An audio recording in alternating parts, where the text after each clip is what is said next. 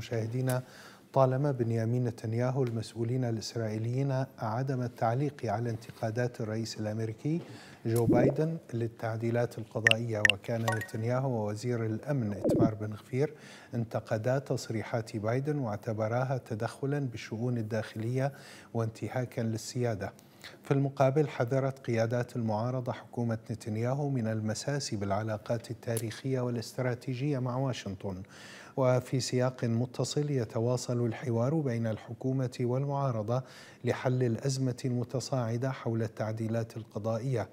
وفي ظل الأزمة تتجه حكومة اليمين المتطرف إلى إقرار مشروع يسمح بتشكيل ميليشيا مسلحة تحت مسمى الحرس الوطني يقودها الوزير اليميني المتطرف إتمار بن غفير ما أثار حالة من القلق والخوف في الأوساط الفلسطينية داخل الخط الأخضر.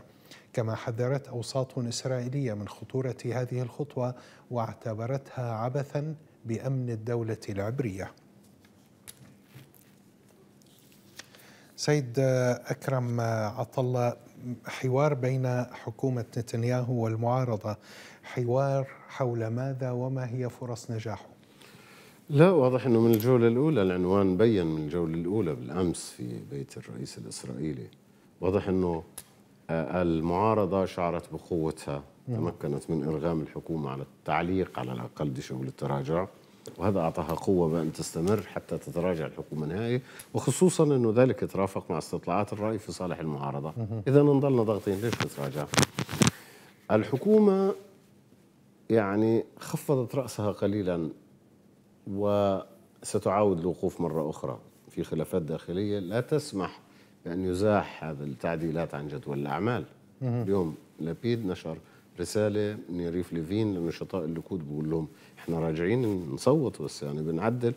وحتى الحديث عن إنه المساومة اللي بتصير مع يوآف جالنت وزير الدفاع المساومة على أساس إنه اطلع من الكنيست القانون نعم. النرويجي وضلك وزير الدفاع. ليضمن نتنياهو كل bloc أعضاء الكنيست تجيب واحد متين من جماعته.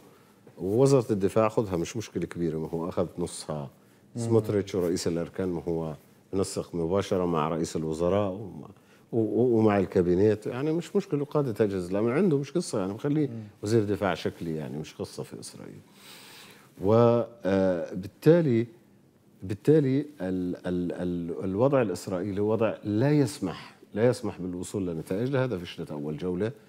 المعارضة بتدفع بالاتجاه والحكومة تراجعت خطوة لتتقدم خطوتين للأمام وبالتالي مش لا تتراجع وبالتالي يحصل توافق. أنا لا أظن أنه هناك توافق واضح أنه لسه لا زالت أمام إسرائيل التصدع التصدع بشكل أكثر وضوح خلال الفترة طيب القادمة. السؤال يعني مع هذا الحو... مع تراجع حكومة نتنياهو خطوة إلى الوراء كما ذكرت ودخول الحكومة والمعارضة في حوارات مع ذلك المظاهرات على الأرض مستمرة طبعا لماذا؟ لماذا؟ أولا لاستمرار الضغط على الحكومة عارفين كلهم نتنياهو كاذب. هو شركائه بيقولوا عنه هيك مش مش خصوم في تسجيل طلع لسموتريتش من فترة. المسألة الثانية إنه وبالتالي هم اعتبروه كذب ممكن يفلت في أي لحظة استمرار الضغط عليه. المسألة الثانية أن المعارضة التي فقدت السلطة شعرت إنه أعيد لها وجهها. هي مالكة الشارع. وهي اللي كل يوم بتعبي في حصتها في حجرها أصوات جديدة اليوم بالاستطلاعات بتاخذ وبالتالي هي مستمرة والشارع الإسرائيلي كله معها. هذه النشاطات هذه النشاطات أصبح في صالحها وبالتالي لو أجريت انتخابات يسقط بنيامين نتنياهو. لماذا ترفع هذا الضغط عنه؟ ولماذا تخسر هذه الإنجازات التي تحققها يوميا؟ طيب الملاحظ أيضا سيد أكرم إنه مع تراجع نتنياهو أو تأجيله لطرح مشروع التعديلات القضائية طرحت قضية شرعنة الميليشيات التي يقودها بن غفير. ما هي فرص الفرص الحقيقية لتشكيل مثل هذه الميليشيات وما أهدافها؟ هي راح تتشكل وهذا كان ثمن بن غفير هدد بأنه ينسحب ينسحب يعني نعم. يقدم استقالته مش ينسحب حزبه. ولن يسمح بأنه يروحوا الانتخابات ويسلمها للمعارضه هو مقابل ذلك ليقنع نتنياهو أعطى له مسؤولية الحرس. هذا قرار اتخذ في عهد حكومة نفتالي بنت. هذا مسؤول لقصة الحرس الوطني. اتخذت في عهد نفتالي بنت آه، ارتباطا بحرب 2021 عندما تمت ومناطق الناصرة واللد والرملة وصار صدامات في المناطق فشعروا أنه بدهم تشكيل حرس وطني. هذا القرار التعسف الذي اتخذ. ولكن يعني استمر وهديت الحالة وعالجت الشرطة آه، بعض ال ال وحل في في حلول صارت. وبالتالي جاء يائير لبيد ثم دخلت إسرائيل في انتخابات أجل ربما هذا الموضوع. الآن بن جفير هو أصلا كان مشكل ميليشيات عنده ميليشيات خاصة. هو هو بده يشرعن ميليشياته في الأول. هو لديه ميليشيات مسلحين. وبعدين مش زي الدول العربية إنه هذا مع سلاح أو لا لا إسرائيل. هم هم دعوا المواطنين لحمل السلاح نعم. الفترة وضاعوا المواطنين. وكله دولة جيش وكله مدرب وكله عدى الخدمة العسكرية وكله كذا. من بين هؤلاء في حصة كبيرة.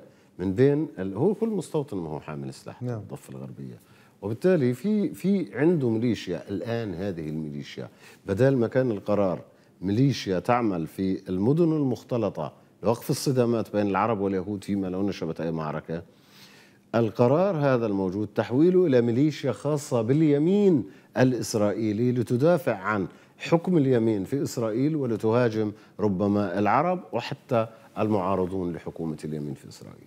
لذلك قيل بأنه آه، يعني هناك شعور بالخوف لدى الفلسطينيين وحتى طبعاً. لدى اليهود أيضا. طبعا, طبعا. إذا هي آه، وصفة كما حذر مسؤولون إسرائيليون لحرب أهلية ربما. صحيح صحيح. إلى أي مدى يمكن أن يسمح أو تسمح ربما الدولة العميقة الجيش لا أدري بالوصول إلى مثل هذا هم لا ما هو الأمور بتتدحرج. يعني في لحظة معينة لنا أنا وأنت نحلل ونقدر نتصور.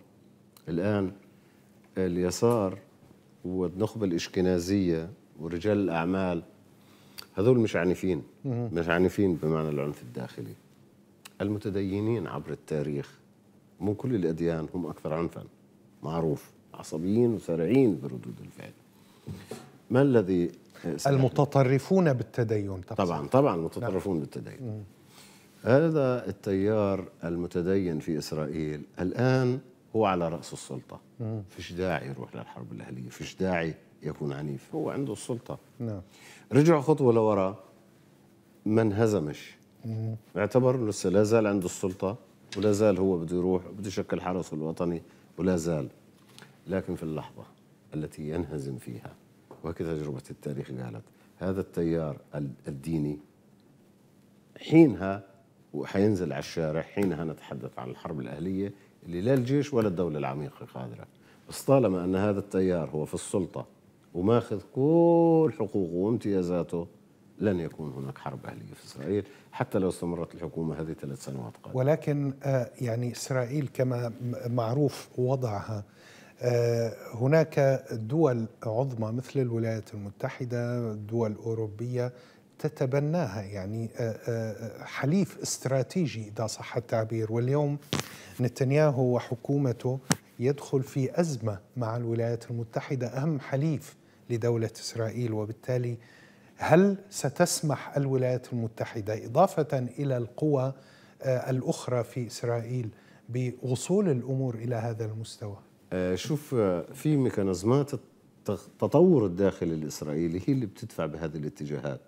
هذه ميكانيزمات تشبه تشبه البصمة الوراثية للفرد. بمعنى إنه الأب بيكون بوجه ابنه بربي ابنه بس في بصمة وراثية. بيقدرش في هذه التطور الطبيعي للجسد بيقدرش يوقف الأب. نعم. هذا ما حدث. إسرائيل تتطور ديموغرافيا باتجاه اليمين. وباتجاه القومية وباتجاه أنه الإشكنازيين آه، بصمة إسرائيل الديموغرافيا. الإشكنازيين ما بخلفوا. المتدينين بخلفوا ستة وسبعة. نعم. المتدينين عندهم مدارس بأخذوا الطفل على الروضة من الروضة الابتدائية الإعدادية الثانوية. وبعد الثانوية بودوه على معاهد التوراة. معاهد التوراة يدرس. ومعاهد التوراة هم وجودهم بالكنيسة تشرعوا إنه ياخذ مصاري وهو بدرس وشرعوا كمان تشريع إنه هذا اللي بمعاهد التوراة وقاعد بدرس وبخلف كثير لأنه قاعد بيأخذ مصاري كثير عائلات كثيرة الأولاد إلى دعم. ربطت فإسرائيل كلها مربطة باتجاه أن تذهب باتجاه واحد. لا الولايات المتحدة ولا كل الأصدقاء استطاعوا كلهم كانوا بيشوفوا وبراقبوا وأنا قاري مؤتمرات بالتسعينات مثلا. نعم. مؤتمر هرتسيلي 2000 اللي بيقول إنه الديموغرافيا سائرات ذاهبة بهذا الاتجاه.